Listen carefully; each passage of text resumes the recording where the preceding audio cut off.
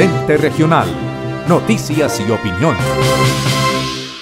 ¿Qué tal amigos y seguidores del ente regional? Mañana 28 de octubre es el primer día sin IVA de este 2021 las eh, medidas y las autoridades están exigiendo medidas de bioseguridad para que se adelanten todas estas actividades que congrega a muchísima gente. Precisamente desde la Secretaría de Gobierno de Florencia se están adelantando y previendo todas estas situaciones. Doctora Carol Tatiana Arboleda, ¿cómo es el trabajo que se está adelantando? Bueno, Wendy, ¿cómo estás? Un saludo muy especial para todos los seguidores. Varias situaciones, vamos a definirlas en tres componentes. Uno es el tema de los eh, del protocolo de bioseguridad, todo por la pandemia COVID-19.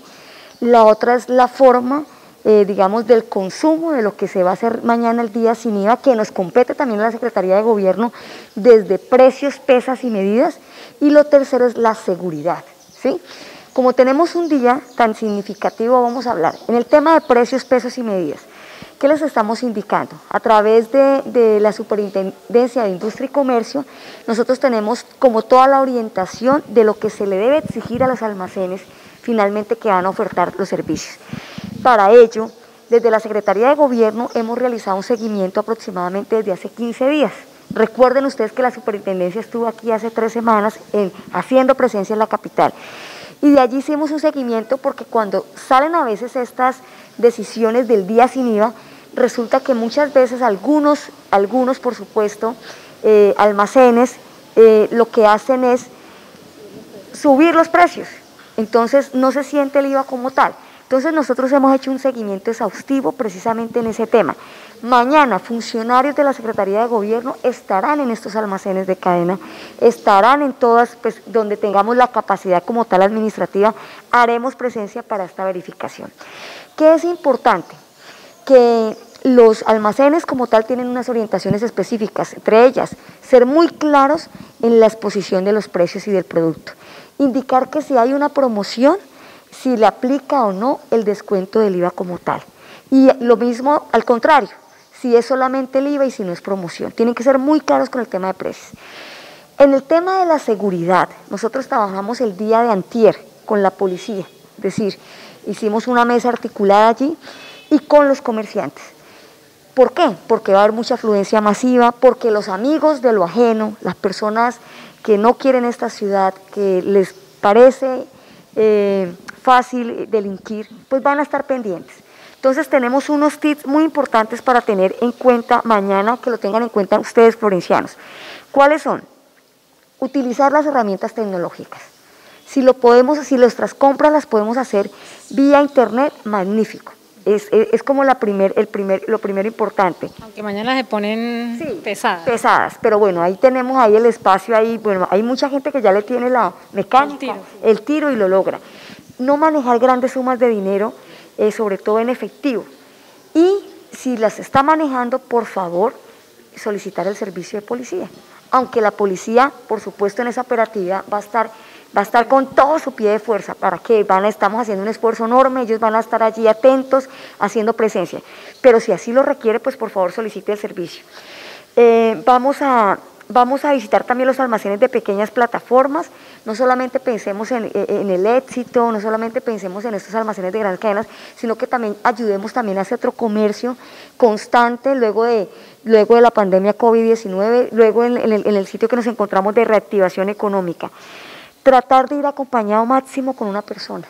A veces nosotros va toda la familia de compra, ¿no? Los niños, sus hijos, los adolescentes, todos. Porque es emocionante comprar algo que de pronto la gente ha ahorrado para tener un electrodoméstico, un televisor, etcétera. Pero no, mire, traten de ir máximo con una persona precisamente para evitar la, aglomeración y, pues obviamente ojalá sin niños para que ellos tampoco tengan que atravesar como ese, ese estrés finalmente que significa que mañana esté totalmente aglomerado.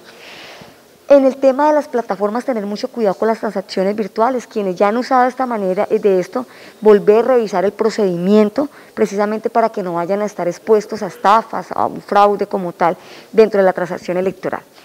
En el tema de bioseguridad, el tercer componente a tener en cuenta, luego de la circular que ha emitido el Ministerio de Salud, pues bueno, no podemos descuidar el lavado de manos, no podemos descuidar el distanciamiento, no podemos eh, recomendarles que quienes no se han vacunado asistan a las vacunaciones masivas que, que de hecho se siguen implementando, la Secretaría de Salud no ha parado de hacerlo, el alcalde ha sido muy estricto en exigir, esto.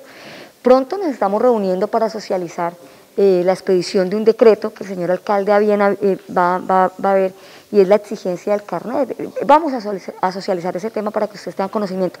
Entonces, no descuidarnos, luego del llamado que ha hecho el Ministerio de Salud, no descuidarnos con el tema de la pandemia, porque finalmente dentro de la reactivación económica llegan todos los eventos, vienen los conciertos, viene la feria empresarial, viene la celebración del colono de oro, vienen los cumpleaños de Florencia, o sea, son unos meses álgidos donde pues tenemos que tener en cuenta estas recomendaciones. Le faltó Festival Folclórico y Feria de Florencia también. Feria, y el festival, el festival, por supuesto.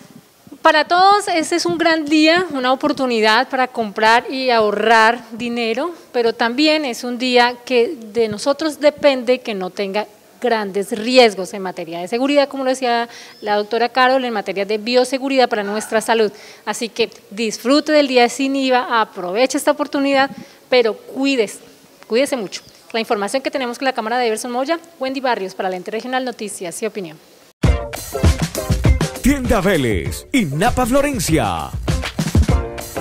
Calzados, bolsos, cinturones, accesorios, ropa. Encuentra Tanino Cuero.